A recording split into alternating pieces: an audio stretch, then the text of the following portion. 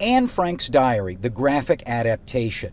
It was recently removed from the Vero Beach High School library after a parent group expressed concerns. We think true history absolutely needs to be taught. The Holocaust, the Anne Frank Diary. Jennifer Pippin chairs the Indian River County chapter of Moms for Liberty. She argues in one graphic scene, Frank asks a friend to expose themselves to one another.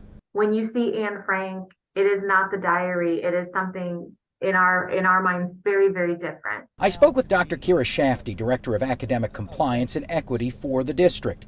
She said the original Diary of Anne Frank is still in school libraries. The graphic adaptation was removed after it was brought to the attention of the principal, and it was determined some of its text did not contribute to the themes of Holocaust education. When districts address Holocaust education, it does so without denying or minimizing the events of Holocaust education. Books being removed from school libraries has been one of the more controversial topics this year.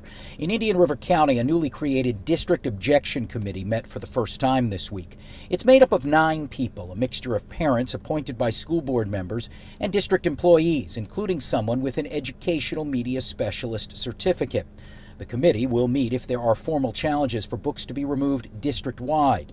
Shafty says the district is proud of the work principals are doing as initial gatekeepers. And in changing times and keeping up with statutes and policies, um, they're doing a fantastic job. While there are no formal book challenges to discuss yet, Pippin says her group has about 250 titles they plan to challenge in the future. John Shainman, WPTV, News Channel 5.